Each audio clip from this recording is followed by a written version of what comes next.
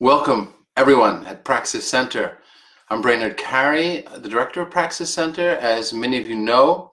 And for those of you who are members, and that's all of you who are listening to this live, I just want to thank you for being in this group and being supportive of each other, because that's what's critical here is support.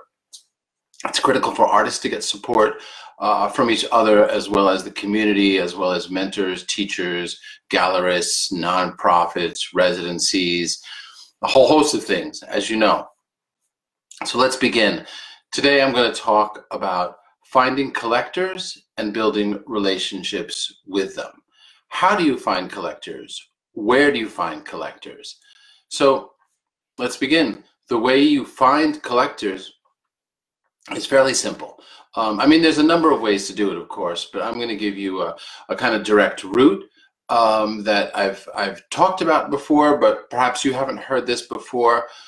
And depending on where you are, let's say you're in a major city or just outside a major city, what's the museum near you? Because we're always looking for uh, where's your tribe, right? One of the tribes is here in this group where you ask questions and we edit things and and and there's live talks by different experts of course.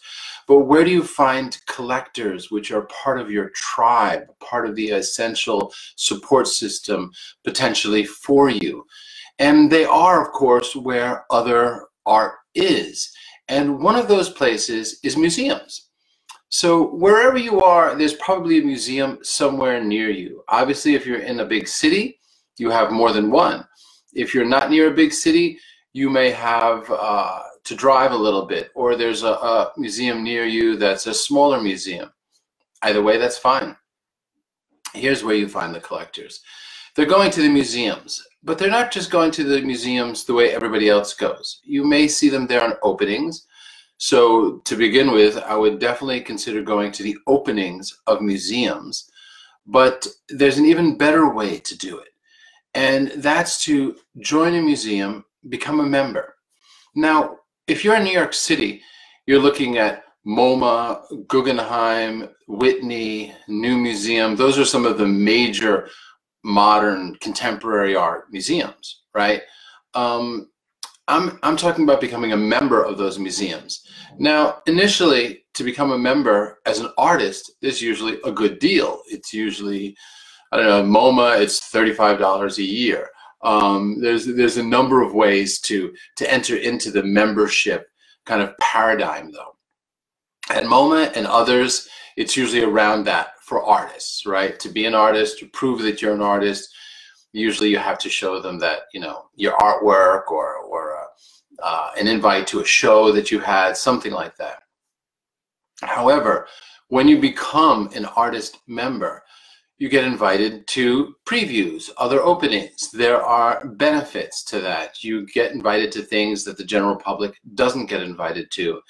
And the people who are going there are also other members at higher levels, and those are often patrons, trustees, and absolutely collectors.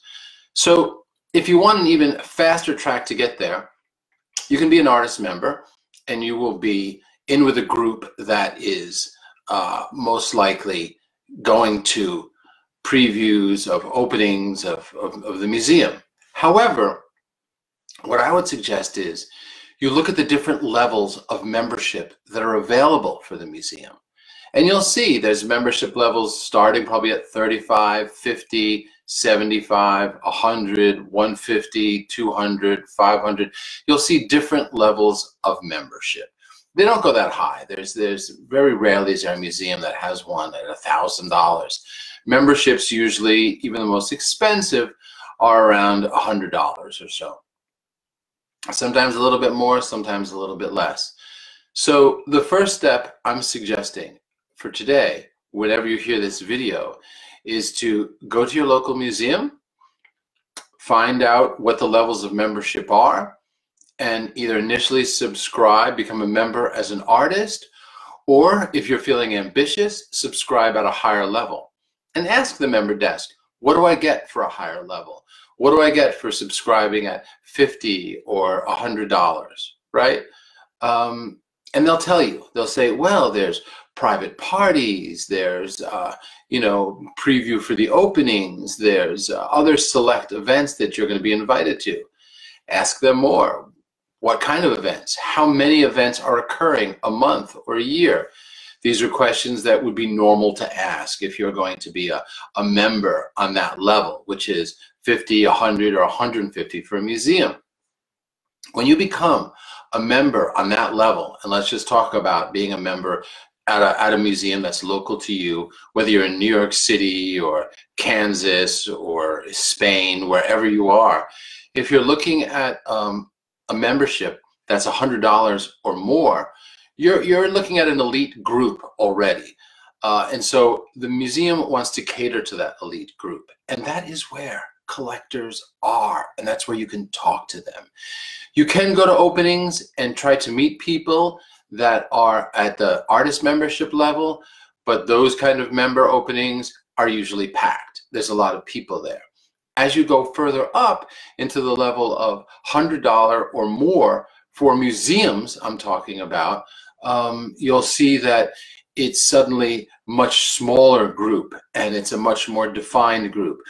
So this is where you will find collectors. And I'm also going to talk about building relationships with them, but for the sake of this talk today, that's an ideal way to an essentially buy your way in to uh, uh, an elite inner circle of collectors, of trustees, of supporters of the arts, of lovers of the arts, of people who love artists and who love supporting the arts. That's why they're at this museum at this level. So let's say you've done this, because I worked with a number of artists who have done this. So let's say you've done this you're at you know the Museum of Modern Art, or you're in Spain, or you're in you know um, Italy, or you're in anywhere in the Midwest in the United States or LA. You're at you're at the opening that you get to because you're a member at a higher level. And at that higher level, you now are in a rarefied group of people that are collectors and trustees. Well, there's a few things you can do. What one artist told me, which was something I suggested and I'm suggesting to you now, is go to those openings and there'll usually be one person there. There will usually be at least one person there that is kind of the person who's managing that opening who introduces people who knows people. Uh, they'll be obvious because it's not a big group and they'll have a museum tag on them most likely. Go to them and say hi i'm a new member and i'm happy to be here They'll be thrilled to see you. They treat you better. It's like having a first class, you know, ticket on an airplane. I presume you know you're you're, you're getting better treatment. They're they're thrilled that you're a supporter of the museum, and they'll ask you a little bit about yourself right away. And you can say, "I'm an artist. I'm here to meet." As as uh, uh, an artist recently told me, she said, "I'm here to meet patrons, and uh, and people who love the arts." And he said to her, Oh, great, let me show you around and introduce you to people. And he literally brought her around the room and started introducing her to people, saying, Hi, this is so and so. She's an artist. She's here to meet more people that are interested in the arts. And that is how you begin meeting people. You know, we could talk about other events, other types of places, and, and, and there's a million ways to kind of meet with kind of elite circles of people by buying your way into groups. But museums which is the focus of today, is really the fastest and most direct way. You're a visual artist or you're a multimedia artist of some kind. The people who are uh, patrons of the museums and trustees are your people. Those are your supporters. Those are your collectors. So again, you buy your way into a museum, go there, ask about membership levels. There'll be everything from artist membership at 35 up to, you know, 50, 100, 200. Ask the membership level desk. You can do this by phone or in person. Say, what do I get for a higher membership like $100 a year? And they'll tell you special previews, parties, openings. And that's where you want to be because you could go to the artist openings that you get for $35, but they will be packed. They will be jammed with people. The openings and special preview parties for people who are paying around $100 more or less, depending on where your museum is in the world, will be more specialized. It will be a smaller group and you can meet them there. So as I was saying, with the with the woman I was just mentioning, uh, she went in, and this is the model that I suggest. You go in to those meetings, and you'll say to them, "Who, um, who, who is the museum, you know, person here?" And you'll see they'll have a tag on. Introduce yourself to the to the member of the museum that's there at that party, who's most likely their job is to help and support the members at this level. Ask them to introduce you to people. Introduce yourself. Say you're an artist. It will be their job to introduce you to collectors. There may also be critics there. There, there will be powerful people in the art world there. When you meet them, um, you can say, you know, nice to meet you, ask about what they do, why they have an interest in the arts, why this museum. Ask questions. They'll ask you questions too. Say you're an artist. Ask if you can exchange numbers. Say, I'd love to have you by for a studio visit. That's how it begins. And if it doesn't, if, if the first time you go, it doesn't feel like the right time to be so extroverted, just check it out. Just, you know, you, you have a higher membership, let's say, go to the private preview opening or whatever the kind of exclusive party is and just walk around. I'd suggest you don't go with your partner, husband, wife, because that tends to insulate you. When you go alone, your likelihood of meeting more people and engaging in conversations is much greater than when you go with a friend or a partner because that becomes insulating. It's intimidating to reach out to other people and you'll talk to each other. I'm sure you've all experienced that. I certainly have. It's, it's more comfortable to talk to your artist friend or if there's another artist there, another artist, than to uh, the crowd that's there.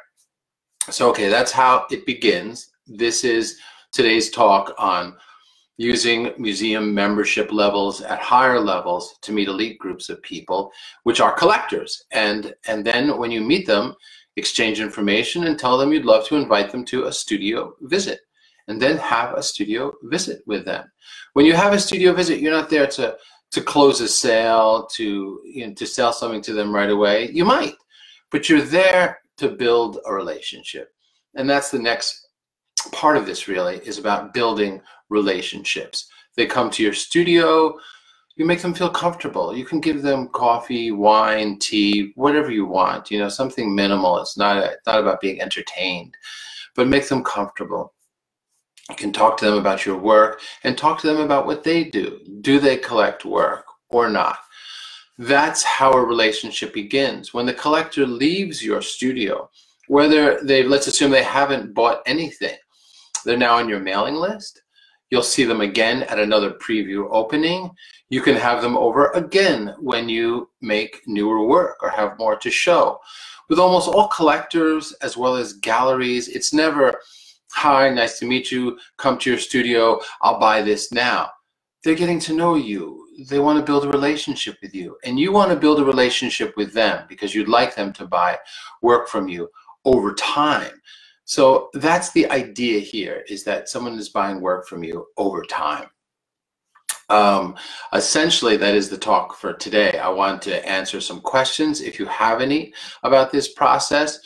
But one other thing I want to say about this process is, so let's say you become a member at a museum at a higher level, and at that point you uh, are, are there meeting people and you think, gosh, I, I don't know anybody here. One way to find out who's there is go to the museum website and look at who the trustees are, look at who the board of directors are, and look at the staff. There's often pictures of everyone. If there isn't pictures of the trustees, look up each one. There will be pictures online. I mean, this is homework if you want to meet those kind of people. So then you can print out their images and their names. When you go to that party, you'll recognize them. They'll be there. Some trustees will be there. Some of the board of directors will be there. The, you know, the director of the museum, curators may also be there because they also want to curry favor with this group. It's a very powerful group. So that's a way to do your research a little bit beforehand. And um, the idea of, of course, meeting these people at these kind of upper level membership openings is so that you can invite them to your studio and again, just to reiterate, once you're at the at the preview event that you'll get to by being a member at a higher level, you ask a museum member there, and you'll see, not a museum member, you'll ask a museum staff member there who'll have a badge on saying staff member.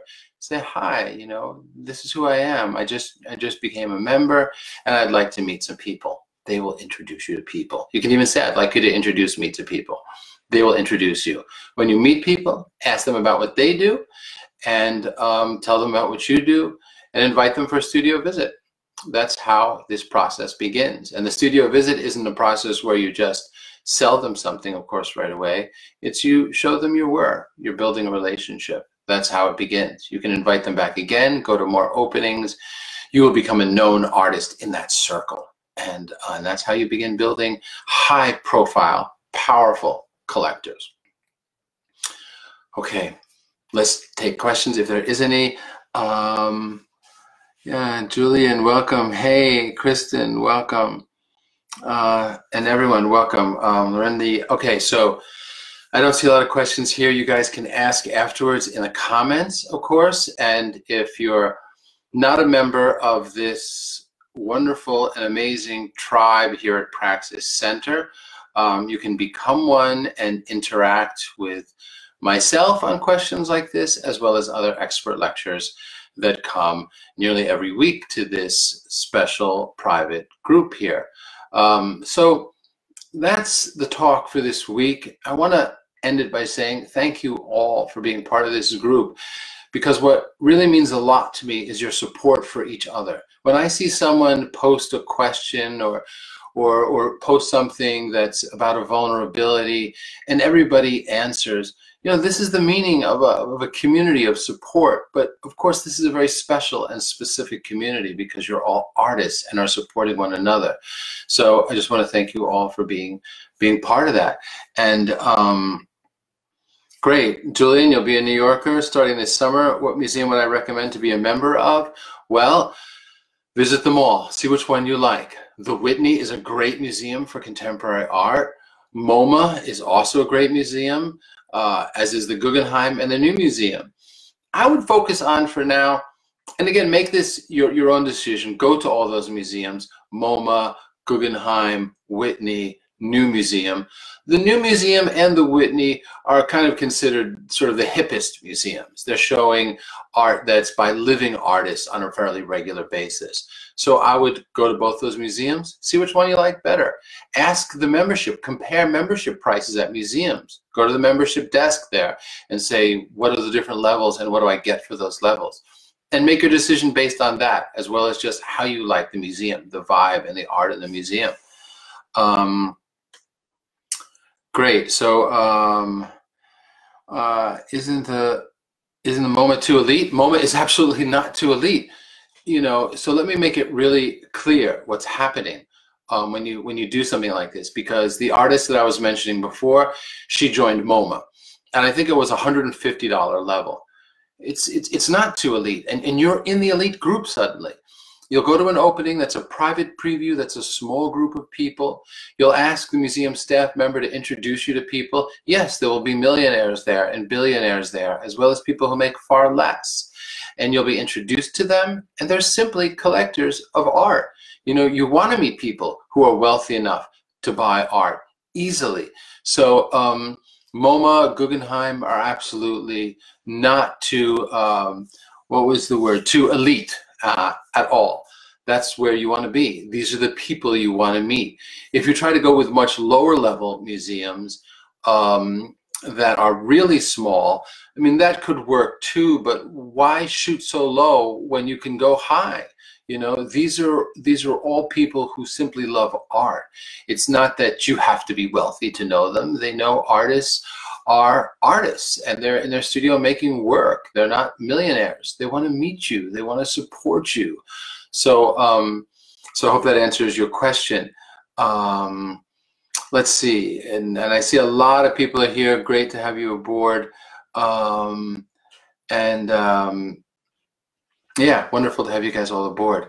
So I'm just going to reiterate the talk very briefly here. Today is about how do you meet collectors and build relationships with them for your art.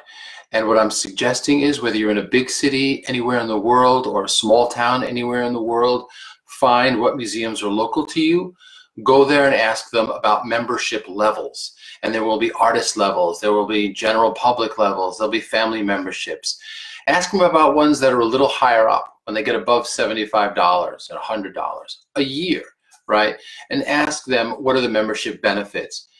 Pick one of those memberships at a museum that's at a level where you start getting invited to private parties and special events. I mean, they're cool events to go to, period. You get previews of shows, there's no crowds, there's talks, you know, it's, it's, your, it's your world.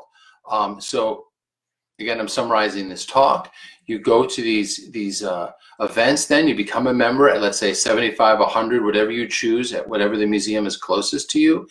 And then when you're there, you ask the staff member from the museum that will be walking around the room. There's not going to be a ton of people there, even at MoMA. Uh, you ask them to introduce you to other people. Introduce yourself. Say, hi, I'm, you know, so-and-so, and um, I just became a member. And they'll say, wow, thanks for being here. So happy to have you aboard. What are your interests? And you tell them, I'm an artist and I'd like to meet more people here who are interested in art, um, collectors and others. They'll most likely walk you right up to people. And you can say, can you introduce me to people? Go alone without a spouse or a partner because that will make it more insulated and uh, you'll have less chance of really engaging with people. When you engage with people there, ask them about what they do, what art they like, why they like this museum, and then tell them a little bit about who you are. Ask if they want to come to a studio visit or be on your mailing list. Most likely they will say yes. Then go see them, get on their um, radar, and have them over to your studio. That's what the relationship's about. You want them over to your studio. You want to show them your work. You may not sell work then. Don't assume that you're going to close a sale or push too hard. You're just meeting them. You're showing them your work. You're trying to find out, do they like this work? Just talking with them. And then keep in touch with them. Keep going to more openings. You will build a, uh, a powerful circle of collectors around you in a very elite group. Doesn't matter whether it's a small museum, large museum, small town, big town. These are people who support museums. Museums are after these people at high membership levels because they know they most likely have money and at the very least they have a strong interest in the arts. So let's see. Um, LACMA is a good choice. Maybe at the 250 level? Absolutely. LACMA's great um, yeah, you can ask LACMA, what do you get for the 250 level? It would be something powerful for sure. They'll they'll tell you, oh, you get this and this, and there's a you know a party at the director's home. I mean, you'll be amazed at the people you'll be introduced to. So yes, LACMA, check out the different membership levels. Ask the membership desk what you get at different levels. You can always move up a level if 250 is a lot. So go to LACMA, ask by phone or in person what is um, what you get for the different levels.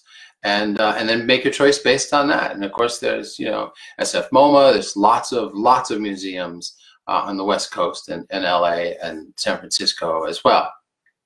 So okay I guess that's the talk for today. You guys can always ask more questions in this thread and um, I just want to thank you again for being part of this group in Praxis Center. I want to thank you guys for supporting each other because I think that's huge and it's what makes me so happy when I answer questions on a daily basis is seeing how all of you have supported each other. Uh, you can also suggest any other kind of talk you'd like me to do here. That's how many of these talks come about that I do weekly, is people have suggested, oh, could you do a talk on this or that or something else? So don't hesitate to suggest more talks. And I want to thank everybody for being here.